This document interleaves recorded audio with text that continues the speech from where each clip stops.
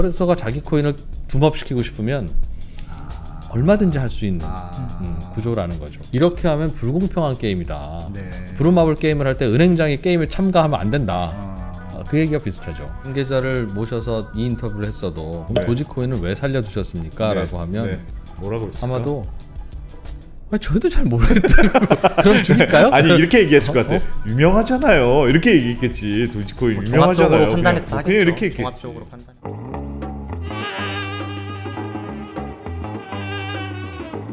네, 평범한 경제 뉴스의 이면을 자세하게 파헤쳐 드립니다. 3프로 TV의 17번째 야심작 백브리핑 시작하겠습니다. 저는 3프로 TV의 이 프로고요. 함께 진행을 맡은 어, 3프로 TV의 안승찬 기자 나오셨습니다. 어서 오십시오. 안녕하세요. 네. 왜 안 기자가 긴장을 합니까? 어떻게 소개할지 몰라가지고. 네, 그리고 오늘 어, 중요한 브리핑을 맡아주실 분 머니투데이의 조준영 기자님 어렵게 섭외했습니다. 어서 오십시오. 안녕하세요. 네. 머니투의 조준영입니다. 오늘은 우리나라에서 가장 뜨거운 감자, 뜨거운 감자를 한번 파먹어 보겠습니다. 암호화폐 거래소의 잇단 상장 폐지 코인들 음. 어, 그 이야기인데요. 이게 그냥 들려오는 뉴스들 보면 암호화폐 거래소들이 멀쩡한 코인을 학살하고 있다. 어, 라는 게 이제 코인 투자자들의 이야기고 암호화폐 거래소들은 우리도 어쩔 수 없다. 는 것까지예요. 그러니까 도대체 무슨 일이 벌어지고 있는지 우리는 여기까지 알고 있는데 왜 갑자기 상장 폐지들을 시키고 있는 거로 파악하고 있습니까? 이게 뭐 업비트 때문에 처음에는 좀 논란이 됐는데요. 음. 업비트에서 지금까지 뭐 종종 유의 종목도 지정을 하고 뭐 상장 폐지도 했는데 가장 많이 25개 종목을 유의 종목을 지정을 했고 음. 갑자기 다섯 개를 갑자기 7일 뒤에 없애겠다. 원화로 거래되는 시장에서. 음. 그러니까 얘가 왜? 특히 페이코인이라는 종 코인이 들어가서 더 논란이 됐거든요. 음. 약간 전망성이 좋다 그래서 막 투자 붐이 일었던 코인인데 갑자기 없애겠다 이러니까 다날 다날인가 그런 회사 맞는 그렇죠, 거죠? 네 어. 맞습니다. 그래서 뭐 페이코인? 실제 뭐 편의점에서도 거래가 되고 뭐 그런 아, 식으로 페이코인이라는 코인이 음, 음, 음, 그, 네. 스- 그 학살 리스트에 들어가는 바람에 더 화제가 됐다는 그럼요. 거예요. 네. 예. 음. 그러니까 많이 오르고 있었던 코인이었거든요. 근데 갑작스럽게 이제 상장 폐지 업비트에서 업비트에서는 네 물론 원화 마켓에서 없앤 거다. 우리 뭐 비트코인 시장에서 한, 거래가 되니까 상장 폐지는 아니다라고 하는데 그 얘기 먼저 한번 들어볼까요? 그러니까 상장 폐지는 주식시장에서 상장 폐지가 되면 네. 장외에서 너희들이 알아서 결혼하는 거, 거래하는 건 너희들한테 음, 음, 알아서 음, 뭐 어른들이니까 알아서 하세요. 그러나 거래소에서는 거래 안 됩니다잖아요. 그렇죠. 그런데 원화 마켓에서는 거래가 안 되는데 음. 원화 마켓 말고 그럼 다른 마켓은 있습니까? 그러니까 이게 거래하는 통화가 무엇이냐에 따라서 시장이 나눠지는데요. 네. 그러니까 원화 마켓은 말 그대로 우리가 쓰는 원으로 코인을 사고 팔 수 있는 거래소고 음. 그러니까 비트코인 또 거래하고 BTC로 거래하는 또 거래소가 따로 있어요. 그러니까 시장이 따로 있는 거죠. 그러니까 비트코인 1비트로 뭐 0. 몇 비트로 뭐 어떤 걸 산다, 다른 암호화폐 산다. 이런 그러니까 음. 법정 통화가 정해져 있는 거라고 할까요? 그러면 돈으로 사는 게 아니라 네. 코인으로 사는 코인으로 코인을 살 수 있는 시장인데 비트코인이 워낙 이제 음. 가장 대표주니까. 주식 시장으로 치면 삼성전자 주식 두 개를 주고 NC소프트 그렇죠. 주식 하나를 사든가 네, 네, 네. 1.5개를 사든가 그렇죠. 그런 에- 시장이 또 있는 거죠. 어, LG전자를 사려면 삼성전자 주식 1.7개가 필요해 뭐 이런 식으로 그렇죠. 복잡은 한데 그런 시장은 있습니까 별도로 따로? 있습니다. 그래서? 업비트에서도 예. 예, 페이코인에 대해서는 원화 마켓에는 없어졌지만 비트코인으로 거래하시면 된다. 그러니까 이건 상장 폐지가 아니다. 근데 사실 아. 거래량이 현격히 차이가 나다 보니까 시장에서는 상장 폐지에 준하는 충격으로 받아들인 거죠. 아, 그럼 코- 비트코인을 통해서 거래할 수 있는 시장도 업비트에서 따로 만들어 놓은 거래소가 있긴 있는데 원래 있죠. 그러니까 시장이 두 개가 있는 거죠. 아. 그러니까 페이코인을 누르면 원화 마켓에서 거래하시겠습니까? BTC 마켓, 그러니까 음. 비트코인을 거, 거래하겠습니까? 있는데 대부분은 다 원화 마켓에서 거래를 해왔던 거죠. 거기가 거래가 치열하니까 네. 그러니까 같이 동반 하락이 됐거든요. 그 공지가 난 이후에. 음, 원화 마켓에서도 내려오고 당연히 비트코인 네, 네, 마켓에서 내려왔겠죠. 그렇겠죠. 그러나 거래량은 너무 형편없어서 대부분 다 원화로 쓰죠. 그러니까 원화는 안정적이니까요. 음. 내가 결제하려는 통화 자체가 안정적인데 비트코인은 비트코인 자체도 출렁거리잖아요. 네. 그러니까 이거는 살 때도 리스크가 있고 팔 때도 리스크가 있는 음, 우리가 환 리스크 생각하는 것처럼 예. 비트코인으로 뭔가 거래를 할 때 그런 한 번 더 생각해야 될 게 있으니까 원화 시장이 제일 크죠. 원화 시장에서는 퇴출시키기로 한 거다. 그렇죠. 코인을. 그러니까 그건 상장 폐지는 아니다. 그래서 음. 원화 마켓 뭐 pair 제거 이런 식으로 표현을 하는데요. 네. 아무튼 그 거래소에서만 안 되는 거죠. 그렇죠. 업비트에서 만 안 된다. 어. 그래서 뭐 페이코인 같은 경우에는 코인원이나 이런 다른 거래소에 상장이 돼 있거든요. 원화 마켓에서도 네, 그러니까 원 코인원이라는 거래소의 원화 마켓, 페이코인 원화 마켓이 따로 있는 거죠. 네. 그럼 거기서는 또 원화 마켓 거래할 수 있는 거예요. 그래서 업비트랑 거래소 안에서만 안 된다는 거였죠. 그럼 거래 업비트에서 거래하던 분들은 어 여기서 거래를 안 한다고 하네. 그럼 내가 이걸 업비트에서 이 코인을 빼서 코인원 거래소에 계좌를 트고 그렇죠. 그쪽으로 이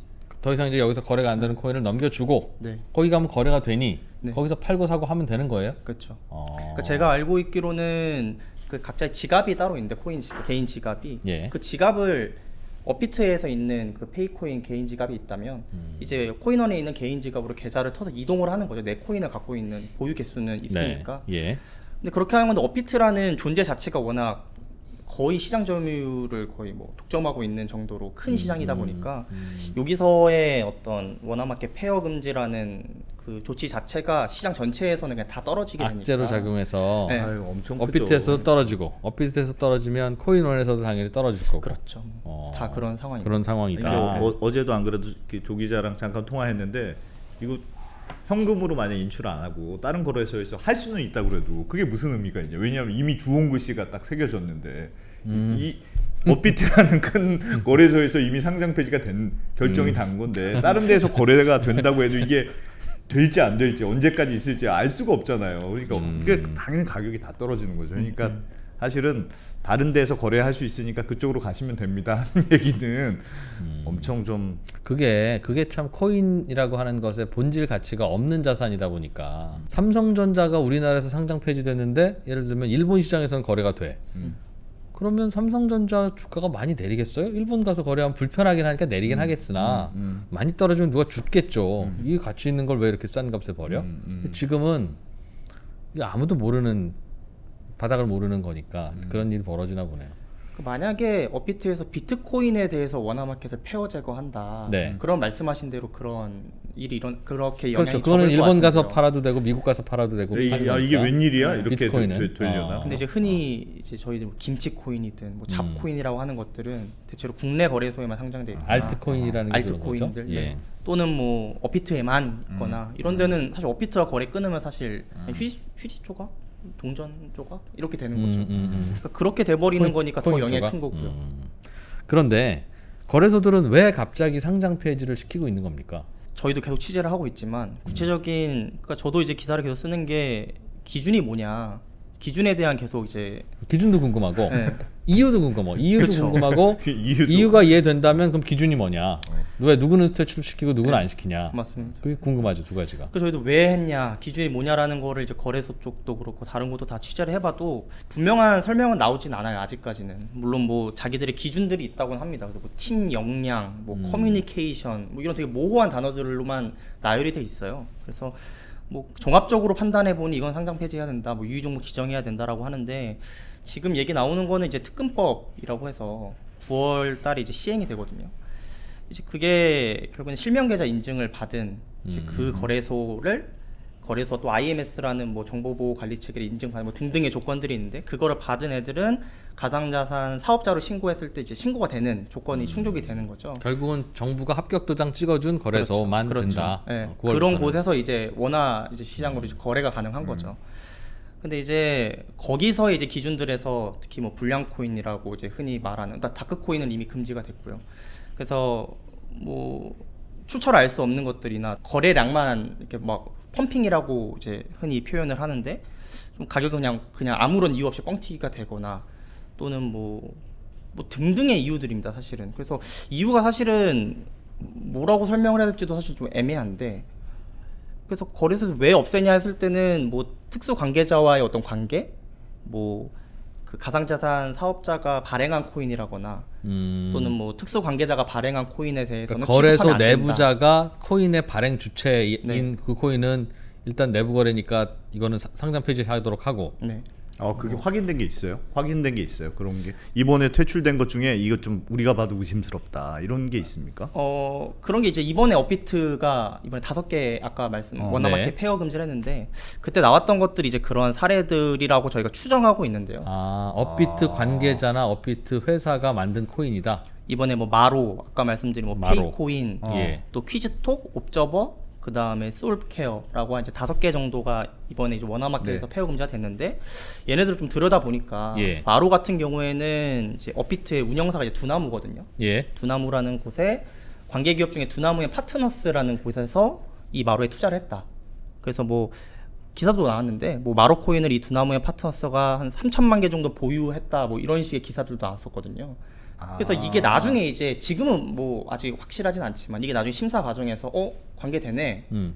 어너 왜 이런 것들 왜 하고 있어? 그럼 이제 거- 특검법상 이제 금융위 심사에서 떨어질 수도 그 그거는 그냥 추측인 거죠 사실. 그럼 아. 법규에 네. 특수관계인은 자기가 만든 코인은 남의 거래소에 상장시키면 시켰지 자기 거래소에는 시키지 말라는 규정이 있습니까?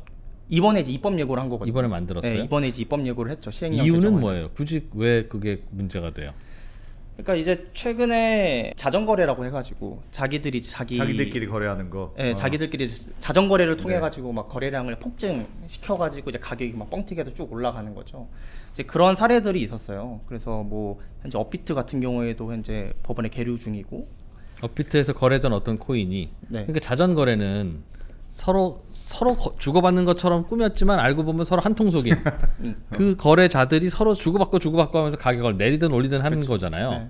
그럼 그거는 거래소의 관계자가 상장시킨 코인이건 음. 그렇지 않은 코인이건 언, 뭐든지 가능하지. 음. 굳이 거래소와 연결고리가 있으면 자전이 더 거래소에서 쉬운가요? 상장된 상장된 것만 규제할 필요가 있느냐? 음. 그거 말고 또 하나가 이제 두 가지인데 네. 가상자산 거래소 이제 임직원들은 자기 거 그러니까 예를 들면 뭐 업비트든 빗썸이든 음. 빗썸의 어떤 임직원이나 이제 직원들은 자기 이제 거기서 거래하지 못하게 말하라. 이제 막은 그 두 가지가 이제 뭐 입법 요건화 돼 있거든요. 그 그거는 얼핏 들으면 뭐 이유가 있으니까 금지하겠지라는 생각도 드는데 생각해 보면 증권거래소 직원은 주식 투자하지 마세요라는 거잖아요. 근데 증권거래소 직원이라고 주식 투자를 굳이 못할 이유가 뭐가 있어요? 아니 그러니까 저도 음. 이번에 그, 거- 그 시행령 발표된 걸 기사를 음. 봤는데 저도 약간 이해가 안 가는 게 그러니까 거래소와 관련된 사람들이 상장된 것만 못하게 하는 건지 아니면 음.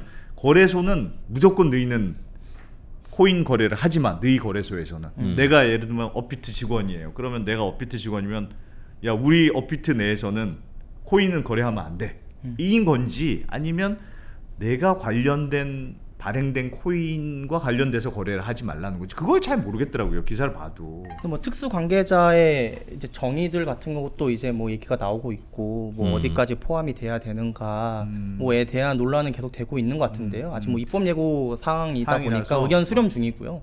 그래서 아니, 뭐 그러니까 수렴해서 예를 들면 아예 못하게 한다. 그게 예전, 예전 제가 이제 막 기사를 찾아보다 이런 것도 있더라고요. 이게 미국에서 2019년에 연방증권거래위원회 SEC에서 조사한 자료가 있었대요. 그래서 미국에서 얼마나 자전거래가 그 코인 자전거래가 얼마나 심하냐 이걸 음. 조사해 봤더니 가상화폐 거래소 81곳 중에 71곳이 자전거래가 있었더라. 음. 이런 조사가 있었다는 거예요. 음, 그래서 하여튼 너무 나쁘게 몰아가는지 모르겠으나 음. 자전거래가 아주 팽배해 있다. 자기들끼리 그건 제가 조금 아는 게 있는데 설명해도 되겠습니까? 이 전체 주제에 대해서 제가 네. 아는 척할 수 있는 기회가 이번 유일할 것 같아서 제가 추측컨대는 음. 아이 좋다. 나 무슨 어. 얘기 하려고 그러지? 거래소라는 게 이른바 이제 자전 우리 주식 시장에서 자전 거래를 하려면 사실은 돈과 주식이 필요합니다. 진짜 돈과 진짜 주식이. 음. 예? 음. 진짜 돈으로 사고 또 누가 팔고 할- 해야지 서로 자전 거래가 되잖아요. 음. 자전 거래라는 건 자기들끼리 돌리는 거래를 음, 의미하거든요. 돈과 주식이 필요해요. 그래서 거래소 직원들은 자전 거래 하지 마라 내지는 증권사 직원들은 자전 거래 하지 마라라는 규정이 음. 따로 없는 거예요. 어쨌든 왔다가 실제로 실물이 왔다 갔다 하니까 왔다 갔다 하니까 어려운 거예요. 어, 뭐 나쁜 거긴 하지만 음, 음. 그런데 코인 거래소에서는 내가 거래소 사- 사장이거나 거래소 임직원인데 음. 중요한 위치에 있으면 가격을 올리려면 서로 자전 거래를 해야 되는데 이 돈과 코인을 내가 숫자로 그냥 찍어버릴 수 있는 거라는 거죠. 음. 음. 돈이 하나도 없는데 잠깐만 50억 원 이렇게 계좌에 넣고 네. 50억 원이 생겼네 있으니까 요 코인을 사야지라고 하면 음. 사진다는 거예요. 이 거래소 안에서는. 어 그래요? 그렇죠. 그래서 허수 허수 주문으로 인한 이제 그런 고소 사례들이 있는 거죠. 놈들이네. 네. 그러니까 거래소라고 하는 건 실제 코인과 실제 돈은 별도로 따로 보관해 놓고 우리 음. 카지노에 들어가면 음. 돈을 바꿔서 음. 돈을 칩으로, 칩으로, 칩으로. 바꾸고 음, 음. 이칩 가지고 거래한 다음에 나중에 그 집에 갈 때 그 칩을 돈으로 바꾸잖아요. 그렇죠. 그런데 예를 들면 내가 카지노 직원이야. 어. 야 김대리 저 캐비넷에 있는 칩 100, 2천 개만 갖고 와라 할 수 있잖아 이게 이게 가능한 거라고요 거래소에서는 그러니 거래소 직원들은 거래를 하, 지 말라고 하는 게 진짜 돈과 코인을 가지고 하는 거면 뭐 하든 말든 알아서 하는데 아. 너희들이 진짜 돈과 코인을 갖고 하는지 너희가 그냥 만든 숫자를 가지고 하는지를 우리가 알 수 없다 이게 첫 번째고 처음에 거래소가 생길 때 생길 때 거래소가 무슨 짓을 해, 하냐면 이제 이런 짓을 하는 거래소도 있고 안 하는 거래소도 있는데 거래소예요. 자 와서 거래하세요라고 하면 거래 안 하잖아요. 네. 누가 다른 사람이 좀 있어야 거래를 하지. 거래가 활발해야 거래를 하지. 시장 조성자. 그렇죠. 어. 그런데 거래가 활발하려면 거래를 해야 되는데 최초에 활발한 거래가 안 나오는 겁니다. 음. 활발하기만 하면 누구도 아주 와서 하니까 처음에 누가 와서 바람 좀 잡아주고 활발했으면 좋겠는데 그래서 거래소들은 서로 사고 팔고 사고 팔고 하면서 자전거를 해요. 음. 자 이제 저 활발하죠. 자 오세요. 이거 하려고. 음. 이 사고 팔고 사고 팔고의 자전거래를 진짜 돈으로 할까요? 아니면 가짜 돈으로 할까요? 음. 거래소 맘이에요 그거는. 음. 돈이 있으면 그냥 음. 있다고 치고 하는 거고. 음. 그러니까 어이 김대리 저칩 200개만 가져와. 음. 라고 할 수, 해서 할 수도 있고. 할 수도 있고. 야, 김대리, 여기 200만 원씩 칩 200개만 갖고 와. 할 수도 어. 있는 거예요. 음. 무슨 차이가 있겠어요? 음. 음, 그러니 이 거래소 임직원이나 거래소 자체 코인은 음. 훨씬 더 거래소가 자기 코인을 붐업시키고 싶으면 얼마든지 할 수 있는 아. 음, 구조라는 거죠. 그러니까 이거는 이렇게 하면 불공평한 게임이다. 네. 어. 네. 부루마블 게임을 할 때 은행장이 게임에 참가하면 안 된다. 아. 어, 그 얘기가 비슷하죠. 아. 아, 그저 무슨 감, 저막 반- 감동받은 표정. 반대하고 막 그랬다면서요. 음. 그 시행령이 들어가면 우리는 이러면 아무것도 먹고 못 산다. 그런 이제 얘기들을 당국이 계속 전달을 하고 있다고 들었어요. 최근에도 뭐 간담회도 진행을 했다고 하고 음. 그 시행령 개정안 관련한 이제 뭐 요구 사항들이 많이 갔던 걸로 알고 있는데 현재 그거는 지금 취재하고 있는 중이고요. 음. 음. 음. 아마 또 좀 반영된 업계 의견들을 좀 반영한 안이 좀 더 수정이 돼서 나오지 않을까라고 좀 관측하고 있고요. 그래서 아까 그 질문은 여쭙다가 다 못 들었는데 왜 갑자기 상장 폐지를 하는 것 하는 거냐? 왜 상장 폐지를 하- 하면 거래소들이 뭐가 좋길래 상장 폐지를 하는 거예요? 그 욕을 먹으면서. 간단한 거는 사업자 신고를 했을 때 이제 통과할 수 있다. 얘네들만 없으면 이 코인들만 없으면 이라고 자기들은 생각하고 있는 거죠. 그러니까 음. 최대한 보수적으로 판단을 하고 자기들이 있는 거죠. 알아서 불안한 거 불안한 거예요. 그러니까 알아 혹시나 내가 떨어질까 봐.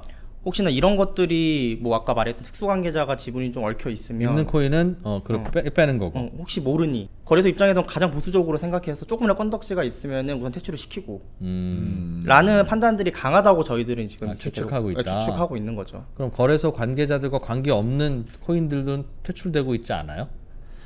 이제 그게 이제 저희들이 해석한 건 이제 그것 때문 그게 가장 큰 이유일 거다라고 음, 하는데 제가 또 뭐 거래소 관계자들하고 또 이거 왜 이렇게 유의 정보 지정되고 뭐 하냐라고 예. 물어보면은 뭐 여러 얘기들은 해요. 표면적으로는 거래가 활발하게 이루어지지 않아서 그런 것도 음. 있다 분명히. 네. 그래서 이게 블록체인이라는 거는 거래가 활발해질수록 네트워크를 더 형성해서 더 활발하게 이제 자기 영역을 확장해 나가는 네. 건데 거래량이 적다는 거는 그 역할을 못 하니까 음. 이제 그런 거는 뭐, 뭐 사업의 확장성이라 해야 될까요? 이제 그런 것들이 떨어진 이런 것도 뭐 유의 종목 지정의 원인이 될 수 있고 거래량 없으면 퇴출시킨다. 뭐 적거나 네 그런 음. 것들 그러면 아니면 또 프로젝트들이 최초에 백서를 이제 발간을 하는데 우린 이런 식으로 이제 우리는 사업을 할 거라거나 음. 아니면은 뭐, 뭐 우린 나는 원래 해운업을 한다고 했는데 상장 주- 상장 뭐 기업이라 생각하면은 음. 해운업 한다는데 갑자기 화장품 판매업을 한다고 치면은 이게 왜 갑자기 바뀌느냐 음. 뭐 이런 식으로 좀 얘네들의 프로젝트 재단들을 좀 믿지 못할 때 또는 뭐 최근에 이제 잘 하고 있나 연락을 했는데 연락이 안 되거나 두절되거나 뭐 이- 그런 여러 가지 이유들이 있다 보니까 음. 구체적으로 딱 우리는 우리 특근법 신고할 때 좀 건덕지 있을까봐 두려워서 합니다라고는 절대 말을 안 하죠. 하지만 그런 이유들이 분명 클 것이다라고 저희가 추측하고 있는 아니 근데 제가 제일 이해 사실 이번 건을 보면서 제일 이해가 안 가는 건 야, 코로나19 백신 1차 누적 접종자가 오늘 오전에 1천만 명을 돌파했습니다. 9월까지 모두 2,300만 명이 접종을 끝내야 하는데 이 접종 속도는 더 빨라질 것으로 보입니다.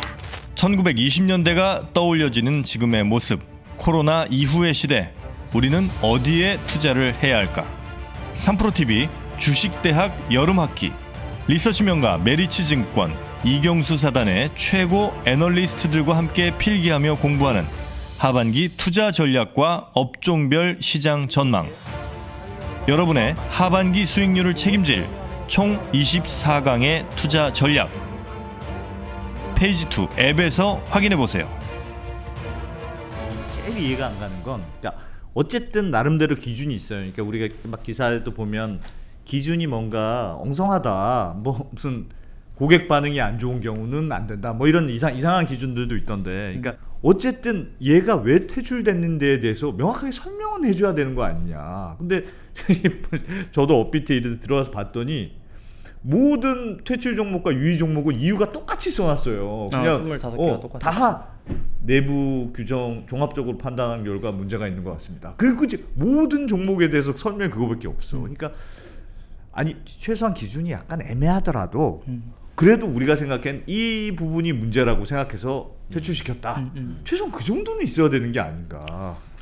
아닌가요? 나 저는 하여튼 제일 이해가 안 가는 게 그거던데. 그러니까 기준이 이 기준이 합리적이지 아니냐는 뭐 거래소의 입장과 투자하는 사람들의 입장은 서로 다를 수는 있겠으나 어쨌든 이런 이런 이유 때문에 폐지시켰습니다. 그건 밝혀야 되는 거 아니에요? 근데 그게 제일 이해가 안 가.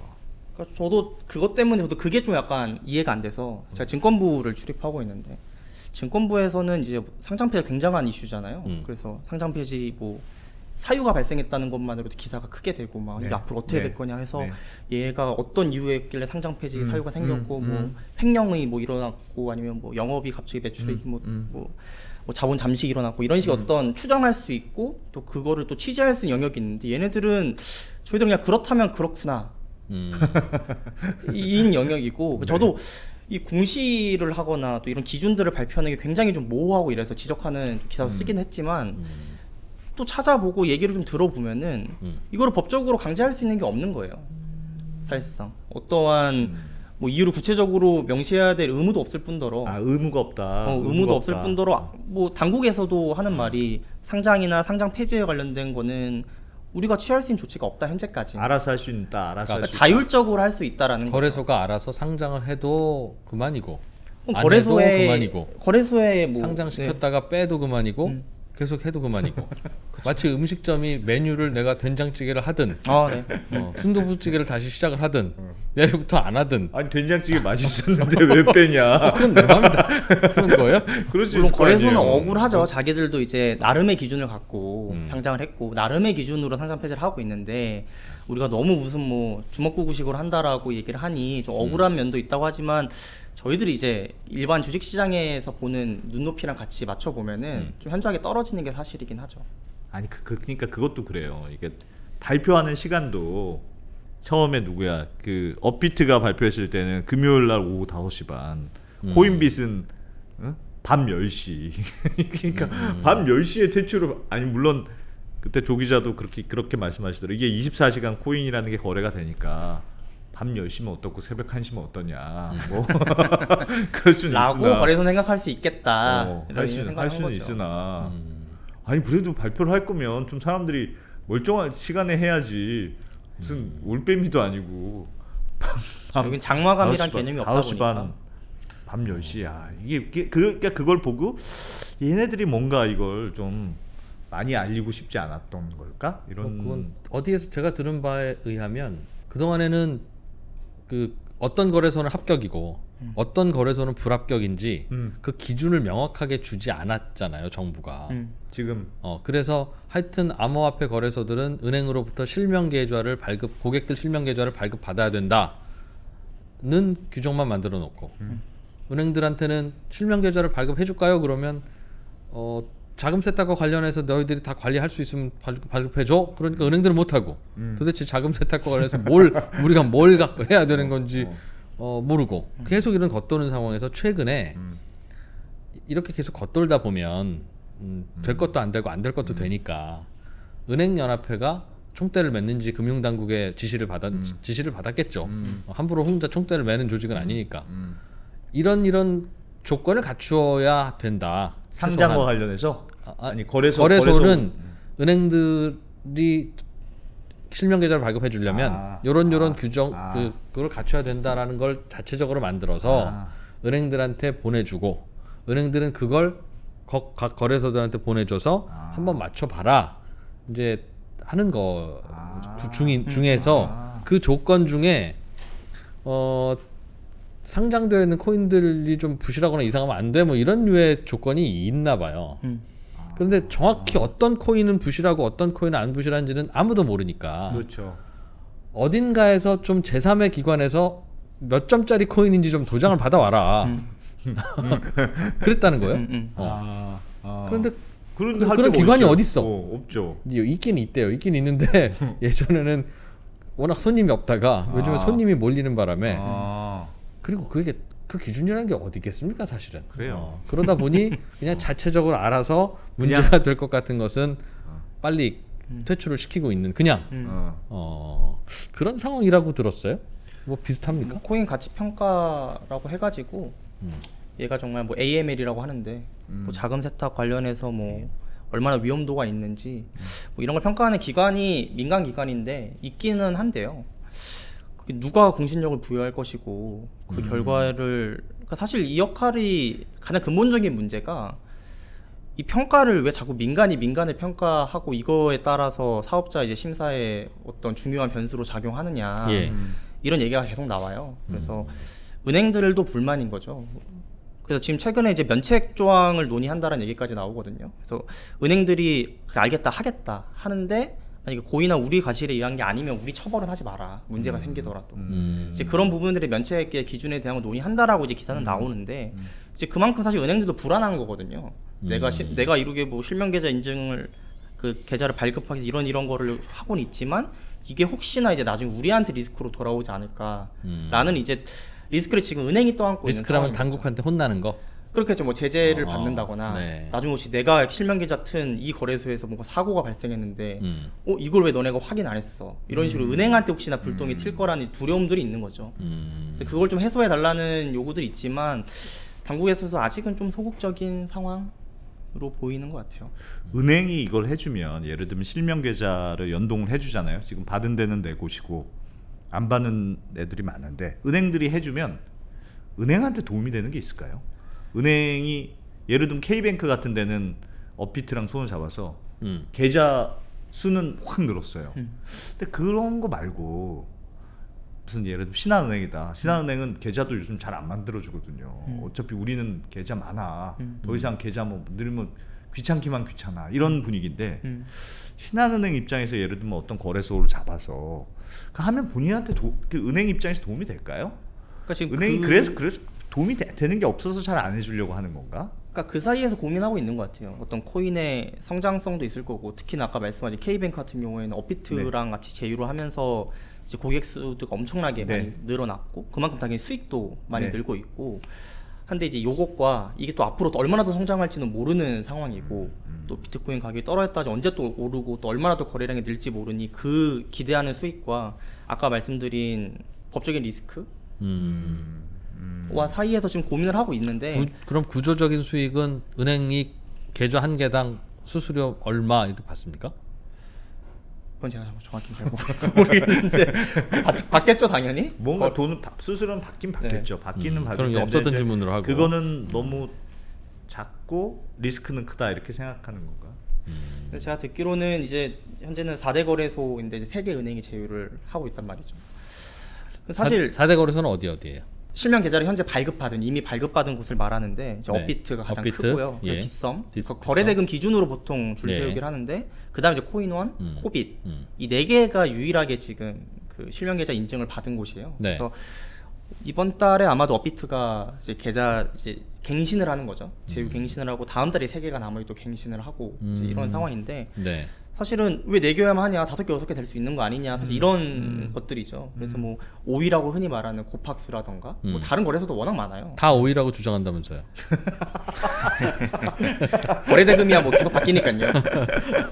처음에는 그렇게 중요해요. 내가 5위냐 3위냐. 어? 어떤 거래소는 뭐 우리가 3위 거래소다, 뭐 2위 거래소 이걸 되게 강조하는 뭐 그러기도 한데 새벽 3시부터 5시 사이에서는 우리가 1등이다.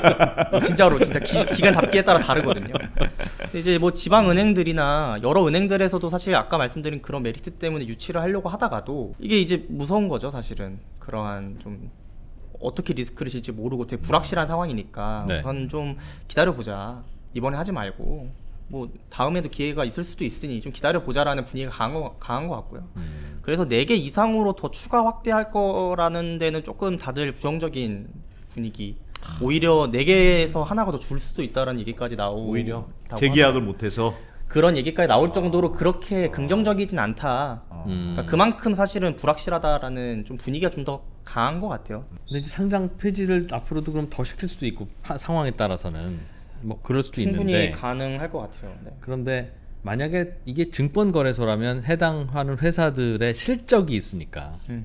우리는 상장 폐지 요건이라는 게 몇 몇년 연속 적자 아니면 몇 년 동안 거래량이 얼마 안 돼. 뭐 이러면 우리 퇴출이잖아요. 음, 음.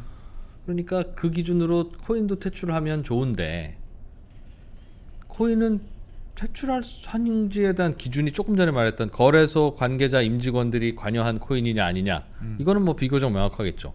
그거 나머지는 어떻게 차이가 납니까? 그 비트코인과 음. 다른 코인과 본질적으로 뭐가 다르냐? 비트코인이 좀 유명해서 거래가 많다는 거 말고. 아니 그러니까 본질적이지 아니, 아니더라도 질문을 제가 조금 부연해 보면 예를 들면 앞으로 유의 종목이든 퇴출이든 막 나올 거 아니겠어요. 지금 분위기는 더 나와. 그러면 내가 투자 투자자들 입장에서는 하여튼 기준을 밝히지가 않으니까 뭐가 될지 모르는데 최소한 이런 애들은 조금 불안하다라든지 뭐 그런 거라도 좀 그런 거 없을까요? 그러니까 예상할 수 있는 게 없을까요? 사실 아까 말씀드린 그 특수관계자라거나 또 음. 가상자산이 직접 발행한 코인들에 대해서 이제 금지가 되다 보니까 그건 모르잖아요. 근데 우리가 예를 들면 그러니까 사실 우리가 저희들이 뭐 재무제표를 보거나 네, 네. 뭐 지배구조를 분석하듯이 사실 아까 말씀드린 마로 같은 경우나 뭐 이런 등등등의 코인들이 이제 그런 유- 우려가 있으니 음. 폐지됐을 거라 해석을 하는 것처럼 음. 투자 이제 투자를 하시려는 분들은 이제 실명 계좌를 받은 그 거래소 네 곳의 어떤 지배 구조를 분석할 필요가 있겠죠. 예. 어떤 지분들이 어. 이렇게 오갔고 이런 코인을 이렇게 어. 투자를 했다는 소식이 있다고 하면은 아, 여기는 위험할 수도 있겠구나. 음. 근데 꼭 그게 꼭 무조건 또 그렇다고 어, 어떻게 또 상패가 된다라고 또 단정 지을 수는 없지만 그런 걸 좀 고려하시면은 그래도 조금은 안전하게 그래서 요즘은 그냥 아, 아무 걱정하지 말고 비트코인 이더리움만 해라 괜히 뭐 더 높은 수익률 추구하려고 알트코인을 들어갔다가 음. 혹시 모르게 쪽박 차지 말고 그냥 안전하게 가라 음. 이런 분위기도 있는 것 같고요 거래량이 많은 데는 그나마 거래량이 많은 순서다 그냥 유명한 순서. 그렇죠 근데 뭐 사실 거래량으로 치면은 사실 페이코인 같은 경우는 비트코인도 뛰어넘었었거든요 그래요? 그 어. 최근에 그 어. 원화마켓 페어 금지가 나고 나서는 그- 두배 정도는 났었던 거 그러니까 충격이. 큰 거구나 더. 예, 그래서 거래량은 엄청 나죠. 그 잠깐의 단기는요. 근데 저는 나중에 이게 뭔가 소송이 붙으면 그 코인 투자자가 소송할 수도 있고 거래소를 상대로 음. 아니면 코인 발행사가 소송을 할 수도 있고 음, 음. 그럴 경우에 왜 퇴출시켰냐라고 하면 그냥 거래량이 주- 떠- 적어서 라고 하면 글쎄요 그게 납득이 될까 모르겠어요 그러니까. 언제 기준 거래량인지에 대해서도 음. 모호할 것이고 그렇겠죠 그런 규정이 서장에 있었던 것도 아니고 근본적으로 거래가 많고 적은 게 코인의 본질적인 그런 가치와 관련이 있냐는 질문에서도 답이 모호하고 음, 현재는 이제 거래소의 자율적인 판단을 인정한다라는 네거 밖에는 지금 그러면 예를 들면 퇴출 통보 받은 코인 업체들 있잖아요. 네. 그 업체들이 그 수긍을 하는 분위기예요? 아 그래 우리는 우리는 퇴출될 만했다 이런 분위기요 아니면 아니죠. 어? 그런 뭐, 분위기는 이게 아니죠. 말이 되냐 이런 분위기. 근데 연락이 안 된다는데 뭐 연락이 안 되는 곳은 뭐 얘기도 못 할 거고요. 네. 이제 뭐 페이코인 하고 있는 뭐 다날 같은 경우에는 좀 공식적으로 입장도 내기도 했거든요. 이건 합당하지 않은 음. 처사였고 음. 엄중하게 항의한다라는 식으로 이제 입장을 내기도 했고요. 근데 뭐 그렇다고 해서 얼마나 이게 크게 좀 변화가 있을까에 대해서는 조금 저희 제 입장에서 좀 부정적인데 그게 뒤집힐 수 있을까?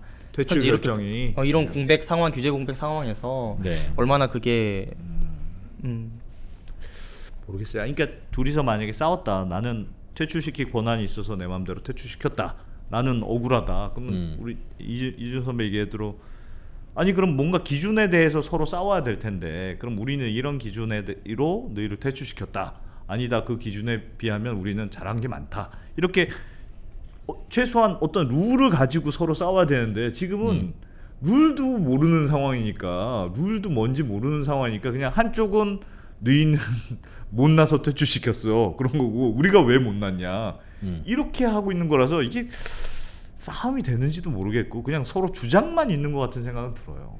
이건 진짜 아닌 것 같지 않나? 왜 이런 일이 벌어졌죠? 지금 21세기 그 G7 플러스 알파에 속하는 나라에서 뭐, 꽤 많은 국민들이 거래를 하고 관심 있는 이 이게 자산인지 화폐인지는 잘 모르겠습니다만 이게 결국 많은 분들이 관여를 하니까 정부가 관여를 할 수밖에 없어서 이 상황이 벌어지는데 룰도 없고 왜 퇴출되는지도 모르겠고 정부한테 물어보면 거래소가 알아서 한 일이라고 하고 거래소는 우리도 이러고 싶었겠냐고 하고 이게 뭐예요 이게 왜 이런 일이 벌어 근본적인 원인이 뭡니까 이게 그러니까 제가 취재를 하면서 가장 좀 절실하게 느낀 게 아 공무원이 일을 안 하면 음.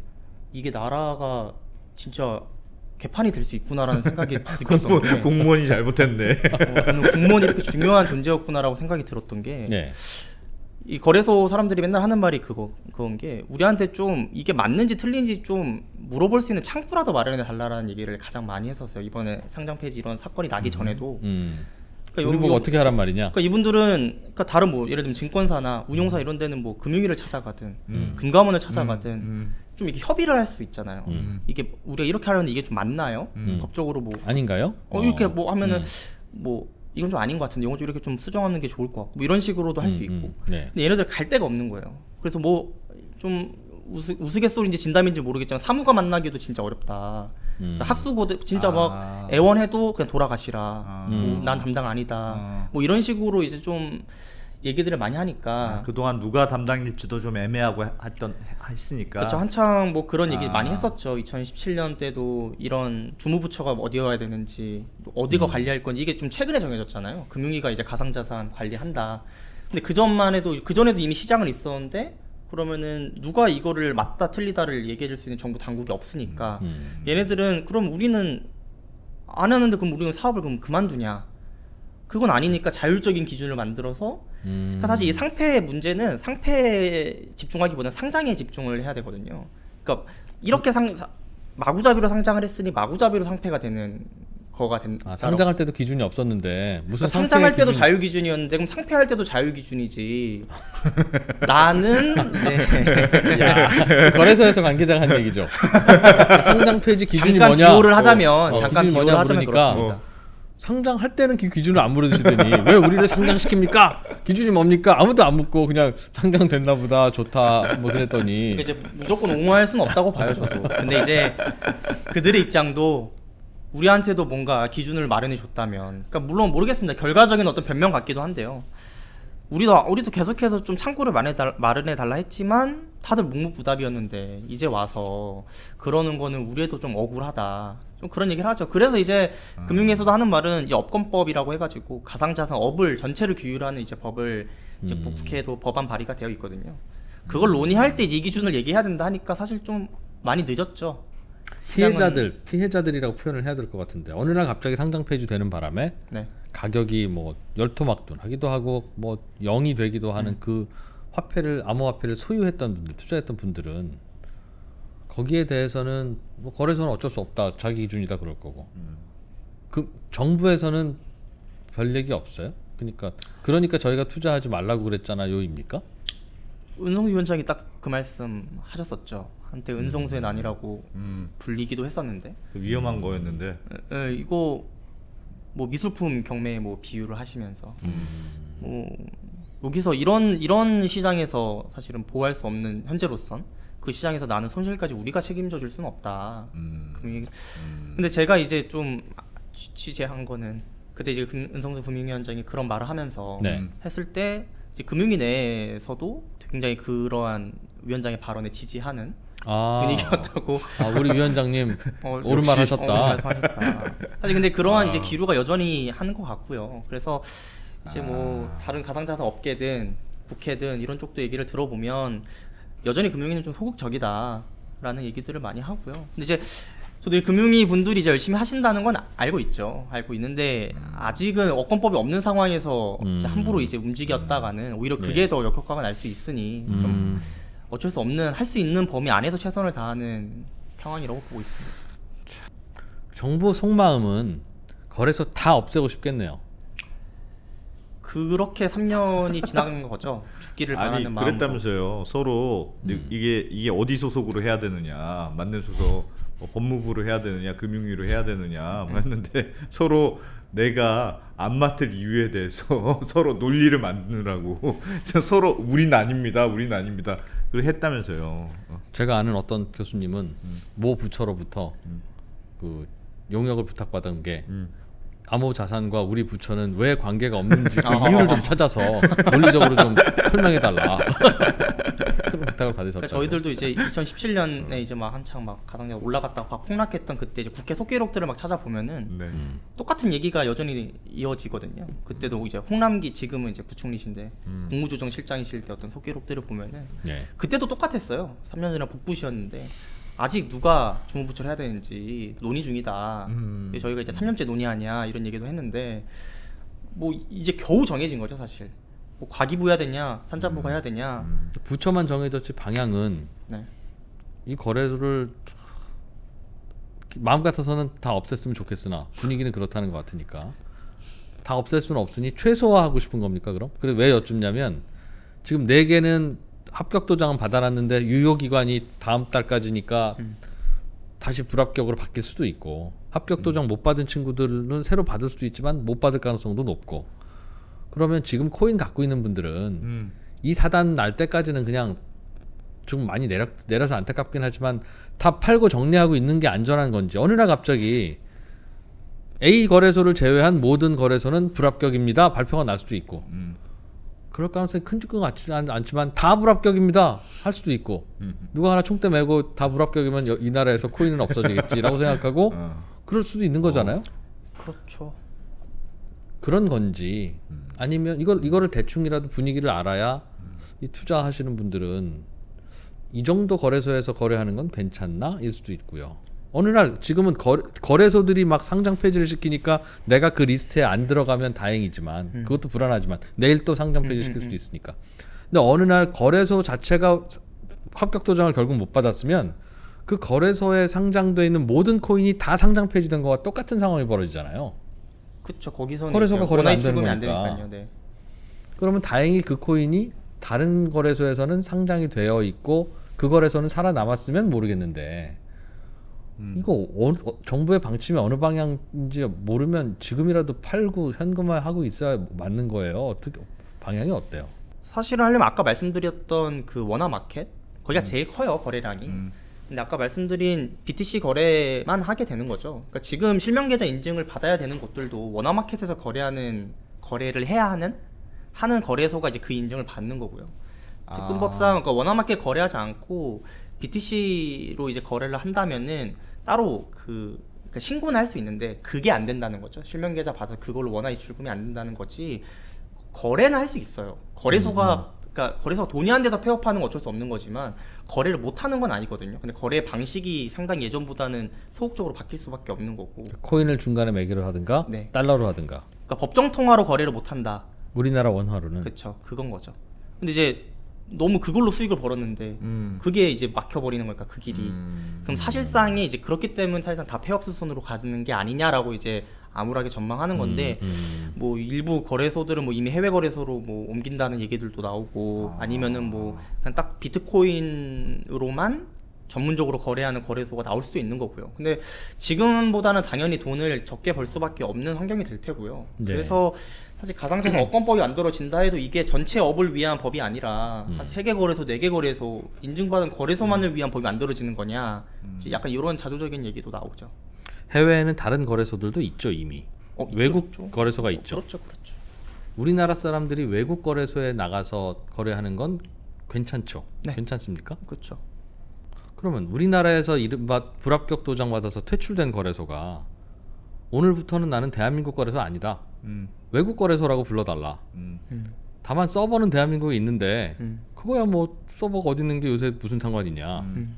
그러니까 즉 거래소가 우리나라 금융당국의 컨트롤 안에서 어떤 법 적용을 받는 거래소와 그렇지 않은 거래소를 어떻게 구별합니까? 즉 예를 들면 어피트가 이번에 탈락됐어요. 음.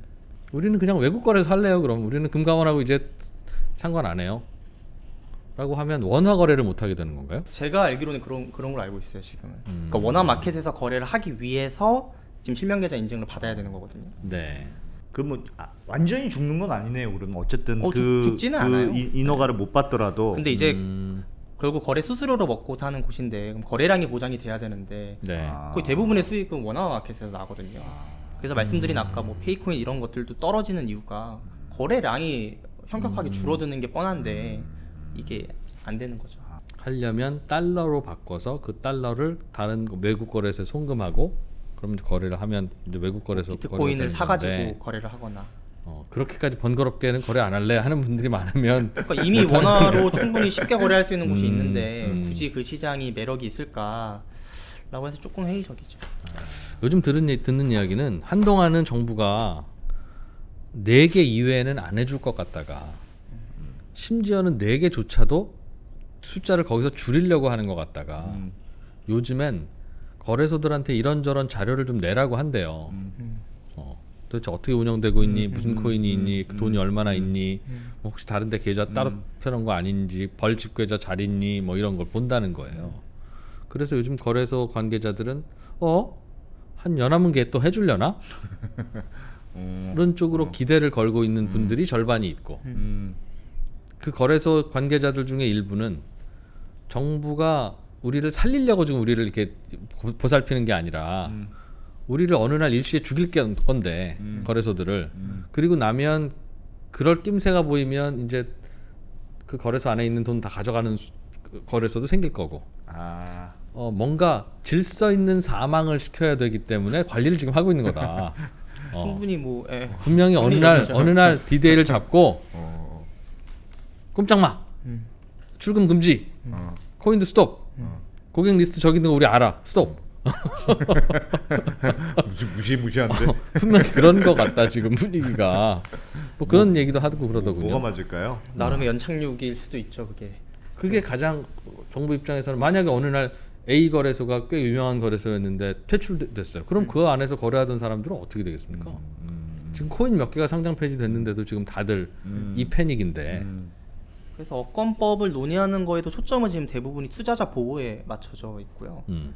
그러니까 사실 뭐 가상자산업을 사실 어권법이라면은 사실 보호도 있지만 그 산업 발전도 분명히 같이 가야 되는 건데 사실 그 부분은 아직 좀 배부른 소리처럼 이제 느껴지는 거고 지금은 여기서 이제 어떻게 이 사람들 아까 말씀드린 이런 우려들이 있으니까 어떻게 보호할까에 대한 이제 초점이 많이 맞춰져 있어서 그래서 나름의 이것도 시장 안정화가 되는 거죠. 당국의 어떤 입장에서 보면요.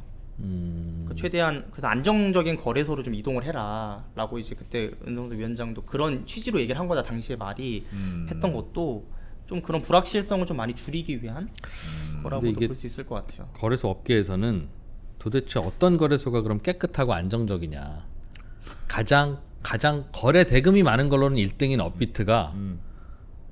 유사 코인 많기로 유명한 업, 유명한 거래소다. 그러니까 최초에 생긴 거래소들은 몇 개 안 되는 코인을 거래하는데 업비트가 후발주자로 시장을 키우려고 하다 보니 맞아요. 이 코인 저 코인 잡 코인 알트 코인을 다 상장시켜서 음. 그렇게 해서 이제 코인이 많으니까 가- 기왕이면 저기 가서 하자 반찬 많은 뷔페집 가자 하는 그렇죠. 걸로 어. 소비자들이 이동해서 큰 건데 음. 그런데 크다는 이유로 그러면 봐줘야 되냐? 음. 작은 게 죄냐? 음. 거래소가 그렇게 따지면 음. 업비트보다 거래 대금이 적다는 거 말고 우리가 뭐가 잘못인데? 음. 라는 거래소들의 항의에 대해서 할 말이 있어요?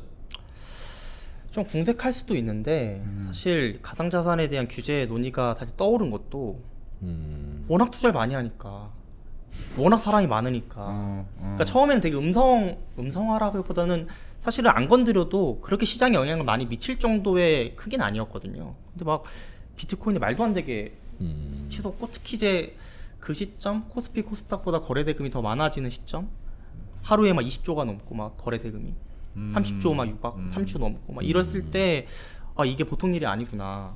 음. 그러니까 사실은 해야 네, 되겠다. 네. 어. 거기 사람들이 결국에는 이제 피해를 보면은 연쇄 반응이 또 일어날 수도 있는 거니까요. 그러한 걱정들이었던 것 같고 아까 말씀하신 대로 업비트의 그 출범에서부터 뭔가 이 코인들의 개수가 기하급수적으로 늘어났거든요. 제가 그러니까 좀 이제 만들면 상장시켜주고 만들면 네. 상장시켜주고 아니 그 네네 개 거래소가 올해 들어서만 100개를 코인을 상장시켰다는 거 아니겠어요? 음. 그 제가 지금 좀 상장 개수나 당시 좀 개수를 좀 보니까 이게 2013년 14년에 이제 3대 거래소, 3개 거래소, 업비트 제외한 아까 네. 거래소 했을 때 이제 업비트가 2017년 말에 설립이 됐거든요. 네. 음. 그때 당시에 그러면은 이제 업비트는 한 100, 개가 넘게 상장을 해서 시작을 했어요. 게시할 음, 때. 음. 그 당시 그럼 너네는 몇 개였냐? 나머지 세 개. 음. 저희 한 8개였나요? 아. 10개, 12개? 아. 네. 이 정도였어요. 음. 그러니까 굉장히 우량 우량 코인? 우량 코인을 해야 될까요, 당시에? 그러니까 굉장히 거래량이 많고 이미 인증 네, 검증된 그러니까 당시에 많이 했으니까 그냥 많이 하는 코인. 어, 그냥 그냥 잘 알, 알려진 알려진 이제 알려진 코인. 아는데 어, 알려진 거래 코인. 많으면 어. 다 장땡입니까라고 어, 하시는 건 어. 아는데 근데 당시에는 그렇게 이제 된, 된 되게 12개 한 10개 안팎 음. 요 정도 였는데. 코인들만 있었는데 갑자기 100몇 개가 와서 사실은 게시하고 얼마 안 돼서 바로 거래량 1위를 야, 찍었거든요. 그럼 업비트가 이 거래량 코인이 많아진 거를 주도한 거래소가 업비트네요. 그렇게 이제 나머지 세개 거래소들은 얘기를 하죠. 아. 근데 뭐 거기도 사실은 크게 할 말이 없다고 생각이 드는 게 나머지 세 개도 거기도 지금 따라서 많이 상장했거든요. 그 지금 대충 보면은 업비트가 178개 코인이 상장돼 있는데 음. 아까 보고 왔는데요. 빗썸도 그 정도 수준이고요. 네. 코인원도 그 정도 수준이고. 지금 지금 네, 유일하게 코빗만 한 43개, 아. 좀 100개도 안 되고 되게 저- 적어요. 그래서 당연히 거래량도 적고요. 혹시 도지코인이라는 코인도 우리나라 거래소들에 다 상장돼 있습니까? 제가 알기로는 다 상장되는 거 알고 있어요. 아. 근데 그 도지코인이라는 게 네. 백서를 들여다보면 이거 장난이라면서요. 백서 자체가 어, 다른 코인들은 백서에서는 우리는 열심히 해보겠습니다라고 주장은 하는데 어. 도지코인은 어. 그조차도 우리 진짜 장난입니다. 우리 그냥. 재미로 만들었습니다. 어, 그런데 그게 상장돼서 아직 상장 폐지 아니죠. 안 됐죠. 그러면 그거는 상장을 유지시키는데 어. 우리는 엉터리입니다라고 어, 기준 자, 자백한. 고객 반응이 좋아서 어, 근데 그거는 상장을 그대로 유지시키면서 퇴출된 다른 거는 어, 오죽 엉망인가라는 뜻입니까? 아니면 왜 그렇죠? 참 그런 참 그런 우리 조기자한테 따지는 건 아니지만 참 그런 기사 댓글에 다 나와요. 그래, 맨날 이제 답답해서. 왜 도치코인은 살아남고 왜 내 코인은 왜 죽어야 되냐 그 이유가 대체 뭐냐 장난이라고 하는데 음. 저도 진짜 잘 모르겠어요. 저도 그거 참 모르겠고 근데 뭐 머스크 이제 테슬라 CEO도 이제 트위터로 계속 도치코인을 펌핑을 시키는 주역이기도 하고 뭔가 전 세계적으로 인기를 얻고 있으니 사실은 부담이 되긴 할 것 같아요. 근데 그 외에 다른 이유로 도지코인을 상장해야 되는 이유가 뭐냐 했을 때는 합리적인 설명을 할 수 있을까? 저도 잘 모르겠어요. 이게 자꾸 얘기하다 보면 어. 우리가 코인이라는 걸 왜 해야 되는가라는 생각이 자꾸 들어요. 아, 이거는 아직 이제 그냥 과도기이기 때문에 이런 일도 있고 저런 일도 거래소, 있나 거래소 보다. 관계자를 모셔서 이 인터뷰를 했어도 네. 도지코인을 왜 살려두셨습니까?라고 네, 하면 네. 뭐라고 했을까? 아마도 아니, 저희도 잘 모르겠다고 그럼 죽일까요? 아니 이렇게 얘기했을 것 어? 같아. 유명하잖아요. 이렇게 얘기했겠지. 도지코인 뭐 유명하잖아요. 종합적으로 그냥. 판단했다 뭐 하겠죠. 그냥 이렇게. 종합적으로 판단했다. 아, 종합적으로. 그 종합에 뭘 종합했는지 모르겠지만 어쨌든 종합적으로 판단했다. 근데 이 기준이 다 달라요. 거래소마다 다르고요. 다르다고 말을 하고요. 상장 네. 폐지 기준도 다르다고 하고요. 사실은 모르겠습니다. 정형화된 게 아직은 없고요. 공시 같은 경우에도 정형화된 공시 기준이 없고요. 음, 거래소에서 정보를 공개하는 것도 표준화된 정보는 없고요. 음. 그렇다 보니 기준이 뭐냐, 왜 그러냐에 대한 질문을 할 곳조차도 없는 거군요. 서로 다 다르니까. 그러니까 다그 다르다. 기준 표준화와 어떤 그런 거를 법에다가 규정을 지금 하자라는 건데 파세월이겠죠. 아니 근데 이번에 특근법에도 이게 9월부터 시작하는 특근법이라는 게 시작되잖아요. 그러면 이제 지금은 누구나 거래소를 운이- 만들어서 마음대로 할 수 있었지만 이제는 허가받은 사람만 할 수 있다 이렇게 바꾸는데 그 특근법에도 예를 들면 상장이라든가 퇴출이라든가 이런 기준에 대한 얘기가 없다. 저는 이렇게 들었는데 넣을 수가 없다라고 아 넣을 설- 수가 없다. 설명을 하는 하더라고요. 아. 그래서 뭐 그랬어요. 저도 그래서 이렇게 상폐하는 거 음. 뭐 금융이나 금감원에서 이것도 뭐 제지를 하던가 음. 또뭐 규제할 수 있는 건 없는 거냐. 음. 그냥 단순하게 말씀했어요. 법적으로 할 수 없다. 그리고 만약에 그럼에도 우리가 한다면 역으로 우리가 소송당할 우려가 있다. 왜요? 왜 왜 왜 그렇지? 그러니까 법에 규정된. 권한이 아니니까 어. 우리가 할 수 있는 음. 일이 아니니까 특근법은 애초에 자금 세탁 방지에 초점을 맞춘 거지 음. 어떤 거래소의 어떤 그 운영이나 상장 상장 폐지 같은 그런 기준을 이제 규정해 놓는 법이 아니니까 그러니까 자본시장법에는 그런 게 가능하지만 음. 특근법은 그러라고 있는 법도 아니고 애초에 목적 자체가 다르니까 음. 그러나 네. 은행 도장을 찍어주고 안 찍어주고는 은행 맘이고 은행 위에는 당국이 있으니 결국 당국 맘인데 하여튼 우리 마음에 맘 들도록 잘해봐 규정은 없어 그러니까 이것도 잘라보고 저것도 정리해보고 이제 이러는 과정인가 보네요 근데 이게 완전 추정인데 예를 들면 지금 분위기는 거래소들이 내가 승인을 받을 수 있을지 없을지 약간 좀 까리한 그런 상황이잖아요. 그래서 이제 9월이 돼야 이제 안심할 수 있는 상황이잖아요. 그 전에 지금 퇴출이 4대 거래소를 중심으로 이루어지잖아요. 그러니까 그러면 이 퇴출이 이루어지고 있다는 건 정말 본인들이 생각해도 이건 문제가 있어. 라고 스스로 자인하는 꼴 아닌가. 이거 이건 완전 추정인데 스스로 자인하는 꼴이 누가 봐도 그렇게 보이잖아요. 이거는 문, 야 네가 생각해도 진짜 문제가 있으니까 지금 이렇게 난리치는 거 아니야? 이렇게 보이는데 그런 리스크를 안음에도 불구하고 야 이렇게 털면 지금까지 터는 거는 눈 감아 줄게. 이 9월에 이제 제도권으로 들어오면 이때부터는 이런 짓 하지 마. 앞에 거는 너희가 잘 손 깨끗이 씻고 어? 과거에 했던 이 죄를 뉘우치고 들어오면 이제 오케이 해줄게. 그건 문제 삼지 않는다. 이런 식으로 된 게 아닌가. 저희 추정입니다. 모르겠습니다. 그렇게 사전? 교감이 네. 이루어지지 않았나. 알겠어요 마지막으로 앞으로 일정만 좀 여쭤보죠 이제 어- 언제까지 뭐가 어떻게 되는 겁니까 이제 이렇게 계속 퇴출되다가 네. 내일 아침에 또 퇴출될 수도 있죠 그건 뭐 아무도 할 수 없죠. 음, 밤 10시에도 공시하는데요. 그럼 최종적으로는 일단은 업비트라는 곳이 재승인을 받느냐 여부가 가장 큰 우선은 그럴 겁니다. 문제입니까? 6월 안에 이제 갱신을 해야 되고요. 아, K뱅크. 6월 안에 네. 음, 뭐 그렇고 7월 달에 이제 나머지 세 개가 나머지 세 개는 갱신을 해야 받아야 되고 그게 약간 1차 관문일 것 같고요. 9월 달 9월 말까지입니까? 나머지는 9월 9월 중인데 제가 날짜는 정확히 예, 기억 안 예. 나는데 음. 그때까지 이제 등록을 해야 되는 거고요. 등록한 이후에 이제 심사가 이루어지고요. 음, 그 심사의 결과로 몇 개가 합격하고 몇 개가 탈락할지 이제 모르는 이후에 것이고. 이제 나오겠죠. 우선은 지금 정부가 컨설팅을 하고 있어요. 그 일부 거래소에 대해서 신청을 받았거든요. 예. 그래서 명목적으로는 이제 신고 수리를 좀 잘 할 수 있도록 뭐 예. 서류도 어떻게 해야 되는지 좀 알려주고 실제 가서 현장 가서 지금 잘 하고 있는지 이렇게 해야 할 수 있는 거다 이렇게 설명도 해주고 이런 컨설팅이라고 하지만 업계는 약간 이거를 사전 실사라고 보고 있고요. 현재 은행 실사도 지금 멈춰 있는 상황이거든요.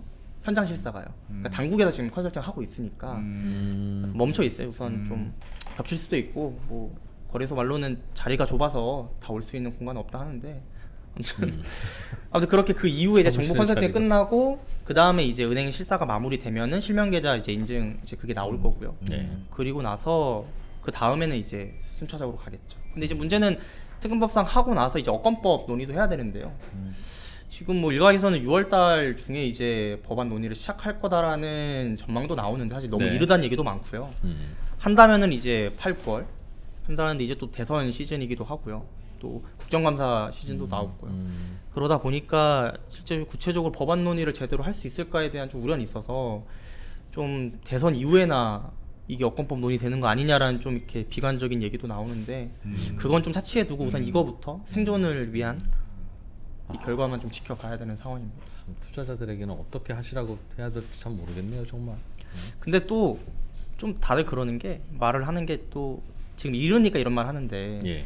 벌 때는 규제가 없어서 이렇게 많이 벌 수 있다는 얘기도 많이 했거든요. 음, 한창 이제 펌핑이 돼가지고 막 어떤 그렇죠. 코인은 아무것도 없고. 하루 2,000% 오르는 경우도 있었거든요. 음. 즉 그런 거에서는 이제 다들 어. 이제 즐겼죠. 음. 근데 물론 선의의 피해자도 분명히 있을, 있을 거고요. 음. 그분들 입장에서 굉장히 억울할 거고 사실은 좀 당황스러우실 텐데 음. 좀 그래서 알고 들어온 거 아니냐라고 이제 좀 비아냥하시는 분도 계시고 이럴 줄 알고 음. 돈을 번 거고 음. 또 이렇게 돈을 잃을 줄도 그것도 너희 책임이다라는 분들도 계시고요. 그래서 다 상장 폐지가 됐으면 그거는 또 설명할 수 있을 거예요.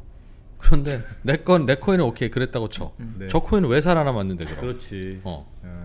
라고 하면 그 코인에 비해서 내 코인이 나쁜 게 뭐야? 라고 할 때 어떤 설명을 해줄 거냐는 거죠. 아, 못 한다는 거죠, 지금은. 음. 그냥 내부 규정에 따라서 그렇게 했다는. 뭐 내부에 공개되지 않은 어떤 심사위원회가 있다고 합니다. 음. 대회비라고 하고 있어서 뭐 답답하네요. 좀 약간 아직 되게 진짜. 베일에 어, 가려져 있고요. 어, 진짜 답답하네. 공개할 의무도 없고요. 그 공개할 의무를 만들어야지 그러니까. 그걸 공개- 만드는 과정인 거 가봐요, 지금. 네, 이제 좀 기준을 마련하고 있는 상황인데 제일 좀 취재하면서 아쉬운 거는 이거를 이제야 하려니까 참그 시장이 계속 크고 있고 또 계속 활발하게 움직이고 있잖아요. 네. 그러니까 어떤 규제를 넣을 때 어떻게 시장이 튈지 모르는 좀 되게 좀 네, 상황이라 사실은 시장이 작을 때 영향이 적을 때부터 했다면 더 좋지 않았을까라는 아쉬움은 있, 있죠. 음. 자, 오늘은 여기까지 브리핑 해드리죠. 네, 평범한 경제 뉴스의 그 이면을 자세하게 파헤쳐드리는 3프로TV 백브리핑 오늘 여기서 마무리하겠습니다. 머니투데이의 조준영 기자님 고생 많이 하셨습니다. 그리고 오늘 첫, 첫 화라고 들었는데 마루타로 잘 참석하고 갑니다. 고맙습니다. 감사합니다. 고맙습니다. 나는 가치 투자자인데 기술적 분석까지 알아야 될까? 기술적 분석 좀 중요한 것 같긴 한데 배우기가 좀 어렵지 않을까? 2021년도 3프로TV 주식대학 여름학기 교보증권 박병창 부장이 쓴 매매 기술 이 책에서는 직접 알려드리기 좀 어려웠던 실제 매매 상황을 강의 영상에 담았습니다. 가치 투자자라도 꼭 알아야 하는 가치 투자자일수록 꼭 알아야 되는 차트 해석법 자세한 사항은 페이지2 앱의 공지사항을 확인하세요.